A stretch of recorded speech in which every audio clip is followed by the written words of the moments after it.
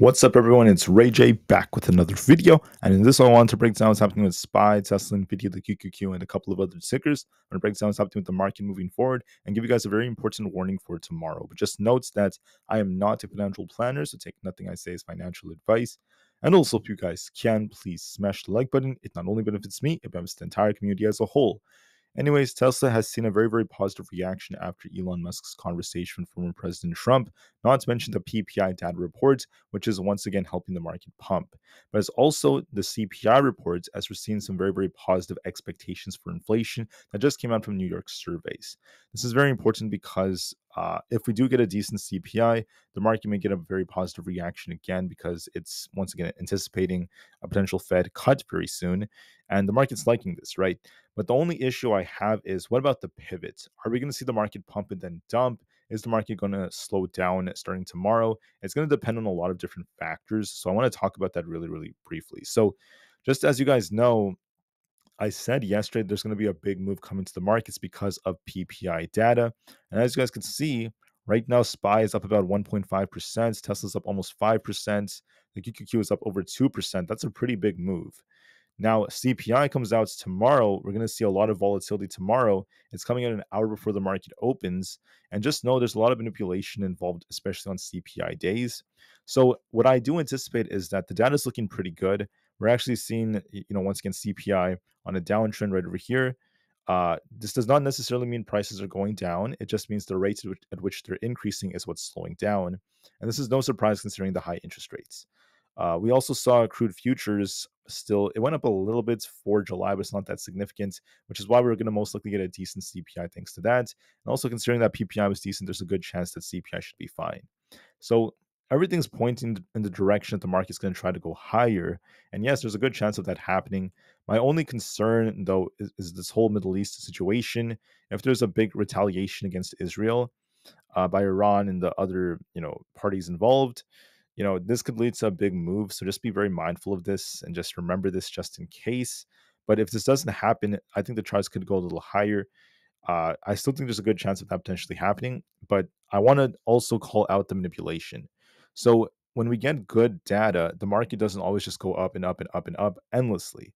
When we get bad data, the market doesn't just always it doesn't just drop, drop, drop, drop, drop forever. You guys know that, right? Sometimes you could get a good CPI, the market could pump and then end up getting a you know a rug pull sometimes the opposite could happen. So there's a lot of manipulation out there, especially as the market starts to just like price things in. So here's what I'm thinking: we might get a decent CPI, and the charts look bullish, so we could get a temporary pump. But just be careful as we hit resistance. Tesla has some tough resistance approaching around this area, around this 212 area is going to be kind of tough alongside 208. So watch 208 is a tough resistance. And then if that breaks, we have that 211 to 212 area. It's going to be pretty tough. We'll see if Tesla breaks that or not, if we do go higher after CPI comes out. Or do we get a pivot? Do we push and then end up dumping? We'll just have to wait and see. But just keep this in the back of your guys' minds. Just know there is manipulation on these CPI days. The data is most likely going to be decent from what I'm looking at. And there's a good chance that the market will try to go higher. But I'm just warning you all that I don't know if the move is going to last forever. Uh, there might be some profit taking and such, so just be careful. Uh, and just keep this uh, as a very, very important warning. So, if you're holding anything overnight, yes, I think we could go higher tomorrow as long as we get a decent CPI. Uh, but with the external factors out there and such, I'm not necessarily like uh, betting too much. I'm not really uh, playing with too much money right now. I'm being very, very careful because I know there's a lot of risk right now, especially with what's going on involving Israel.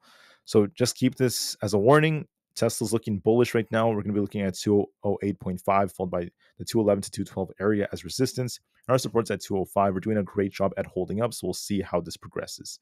SPY is holding up very nicely, considering that we were in the basically 530s yesterday, the low 530s. We're now in the 540s, so it's on a very, very strong uptrend right now.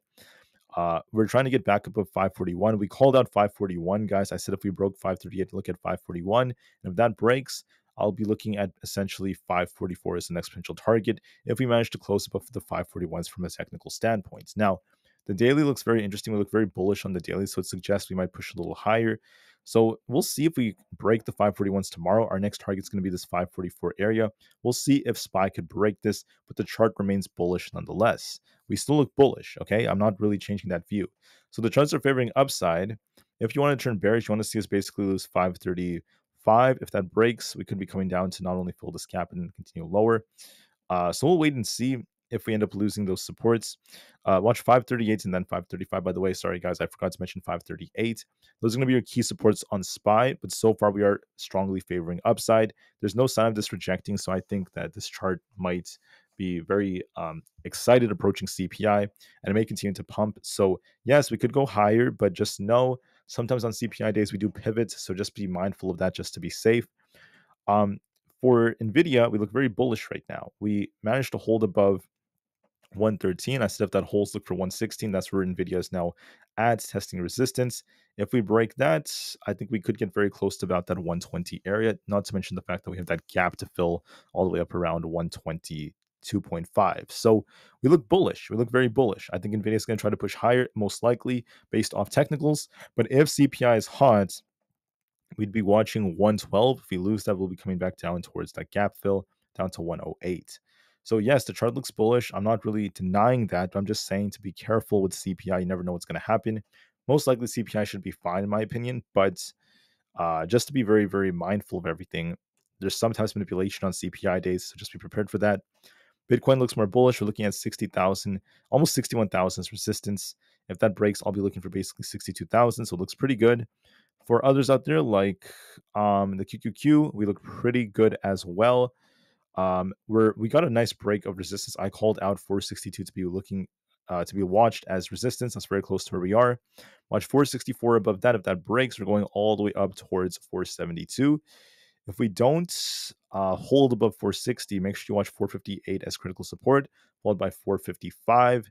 If that breaks, there's going to be a big rug pull all the way down to 450. So we have a critical support at 455 and that gap below. But so far, the chart is favoring upside. There's no sign that the market's rejecting. We still look bullish. Same thing with Apple. Apple is looking quite bullish. I called out 123 to potentially be targeted if we break past 122. And then if we end up losing 119, I'd be looking for this gap fill towards 117. The chart looks bullish. The chart looks like it wants to continue to push to at least 222 plus. So we look pretty good. We'll see what CPI gives us, but just know that all these catalysts are coming out. So if you're going to hold anything overnight, just be careful. That's what my warning is. Russell's looking bullish. If we hold above 107, uh, 207, excuse me, we're going all the way up to about 209. And if we lose 205, look for a rug pull for 203. The charts still remain bullish. Coin is going for 200, looks pretty good. Amazon's going for the gap fill towards 171. We'll see if that holds. Uh, I called out the gap fill at 171, and that's very close to where Amazon has pumped to. I think we actually reached 171. We came very close to it. So, yes, we went for the gap fill exactly as I predicted on Amazon. On Meta, I said we might get very close to 530. Lo and behold, that's what happened. We called out every single one of these levels. And if that breaks, we're just going to continue to push to this imbalance. Our next target on Meta would be 534, and our support to be watching for us around 525. Overall, the chart remains bullish. Uh, Microsoft looks bullish. We're basically looking for this to potentially start testing um, well, as long as it holds 412, our next target is going to be closer to about 420. And then we also have Google. Google's looking pretty good here as well. We'd be looking at 167 as resistance. So, like I said before, we're looking good right now. The VIX is looking bearish. Market's looking bullish. The dollar is dropping as well. So far, the bulls have a big edge. But just know the VIX is approaching 17.35 our 200 EMA is the VIX going to bounce here? Because historically, there have been a lot of instances where we did bounce off our 200 EMA. So we're approaching support on the VIX. Uh, so we'll see. What I'm trying to warn you all about is this. Yes, the market's going to likely go higher, but tomorrow, are we going to see a pivot? Are we going to pump and pump and pump price in CPI, then start to see a dump? Or are we just going to keep going? We'll just have to wait and see. So be careful, especially with all the news involving Israel that's still very tense.